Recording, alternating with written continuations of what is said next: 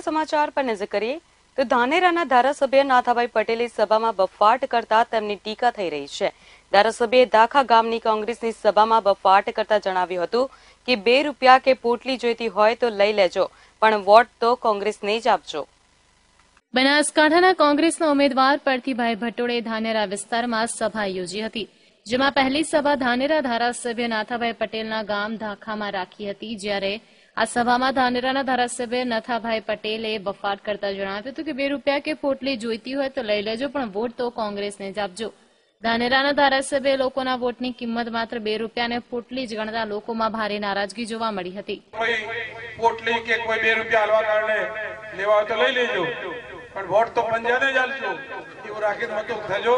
એ આપણા જ પૈસા છે અને એમને ભેગા કરેલા છે. એટલે પાછા તો મત જવા દેજો. પણ એ મનમાં આવજો કે આપણને છેતરે અને આપણે છેતરવો પડે. આ તો રાજકારણ છે.